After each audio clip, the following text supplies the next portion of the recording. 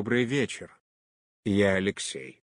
В эфире 71 выпуск программы «Гербы городов России». Она выходит по выходным. Наш город сегодня – это город Чита. Чита расположена в Забайкалье при впадении Р.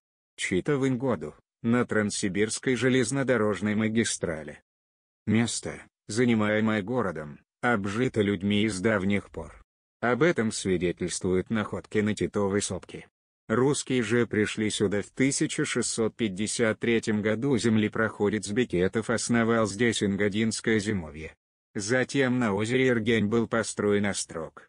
Первое поселение называлось Кладбище, так как тут сколачивали плоты для дальнейшего пути на Шилку. В конце 17 века оно именовалось и Платбише, и Острог, и Слобода. Только с 1706 года устанавливается название Читинская Слобода. Но в начале XIX века употреблялись также Чита, Чита за Байкалом, Читинск, Читинский округ, местечко Чита. С 1797 года Чита входила в состав Городик-Ценской волости и находилась в ведении Нерчинского горнозаводского управления. Ею управлял горный исправник. В XIX веке в долине Эр. Ингода вокруг Читы стали строить дома переселенцы. В 1823 году была учреждена Читинская волость, существовавшая до 1847 года, а в 1851 году Чита стала городом и центром новообразованной Забайкальской области. Читинская область создана в 1937 году. Большое значение для развития Чита имела прошедшая через город в конце XIX века Транссибирская железнодорожная магистраль. Появились новые переселенцы. Открывались небольшие заводы и фабрики, кожевенные, свечные, мыловаренные, стекольные, мукомольные д.р. Через Читу не только шел скорбный каторжный путь, но она сама была местом ссылки. Здесь были построены арестантские казармы и тюрьма для следовавших по этапу осужденных людей. В Читу были сосланы декабристы. В 1827 году в городе находилось 55 декабристов, а всего за все годы перебывало 85 декабристов.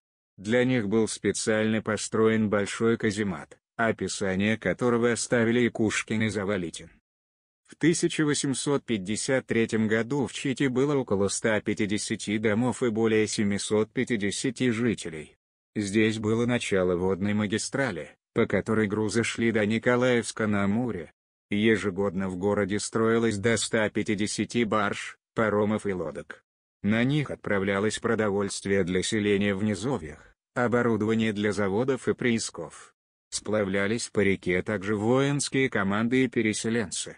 Чита становилась одним из крупных речных портов. В 1875 году в Чите впервые была избрана городская дума, а общественное собрание существовало здесь с 1860 года в числе учебных заведений было две гимназии мужская и женская. Современная Чита является крупным промышленным и культурным центром Забайкалья. В городе более 50 крупных промышленных предприятий. В их числе заводы, машиностроительный, станкостроительный, автоспецоборудование, паровозово-гоноремонтный. На шахте Восточная добывает уголь. Население города выросло с 61 тысячи в 1926 году до 206 тысяч человек в 1977 году. Герб города. В золотом щите восьмиконечный палисад, червлен и зелень сопровождаемый вверху червленой буйволовой головой с серебряными глазами и языком. Вам понравилось наше видео? Ставьте лайки, подписывайтесь на наш канал.